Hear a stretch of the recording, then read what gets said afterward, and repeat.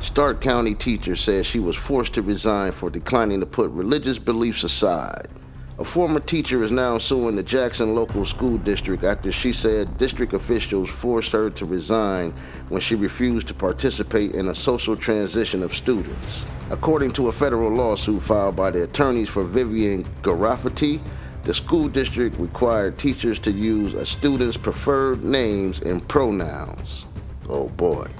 Her attorneys with the Alliance Defending Freedom said Vivian sincerely held religious beliefs and scientific understanding govern her view that a person is a male or female based on sex, not personal identity, and participating in a student's social transitions violates those beliefs by forcing her to communicate the message she believed are untrue and harmful to the students. Now, Vivian, who taught English at Jackson Memorial Middle School in Massillon, she resigned in August.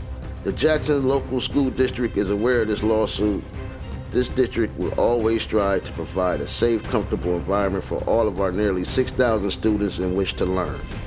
We have engaged legal counsel and we will have no further comment on pending litigations. My question is, why is there so much emphasis on promoting sexuality to kids as opposed to preparing them for their future?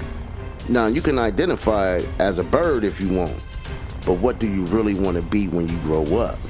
What is going to determine, what is going to be the determining factor if you're going to be a productive citizen in society or not?